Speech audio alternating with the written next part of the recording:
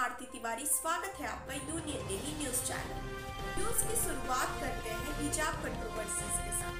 कर्नाटक से ऊर्जा हिजाब का विवाद अब धीरे धीरे पूरे देश में फैलता जा रहा है। सियासत के बीच अब प्रदर्शन तेज हो गई है। हिजाब के समर्थन में है। तो कई स्कूल, कॉलेज में हिजाब पर रोक लगाने की मांग कर रहे हैं। कर्नाटक से एक विवाद की चिंगारी भड़की देश को लपेट लिया। सवाल पहनने का था और लड़ाई धर्म और अधिकार पर बन गई।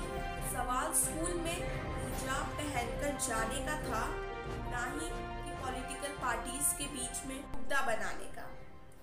सभी लोग अपनी अपनी ओपिनियन दे रहे हैं इस कंट्रोवर्सी पर उन्हें ये नहीं पता कि स्कूल ड्रेस इसलिए रखा जाता है क्योंकि वहाँ किसी धर्म का अलग अलग प्रार्थना वहाँ किस, किसी भी धर्म को मान्यता नहीं दिया जाता।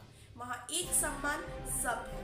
इसीलिए वहाँ पे ड्रेस कोड रखा जाता है ना ही कि अलग अलग धर्म के लोग अलग अलग कपड़े पहनते हैं हमें स्कूल में सिखाया जाता है सभी जाति सभी धर्म एक सम्मान है। सभी जाति और धर्म के लोग अपने अपने तरीके से भगवान पे विश्वास करते हैं।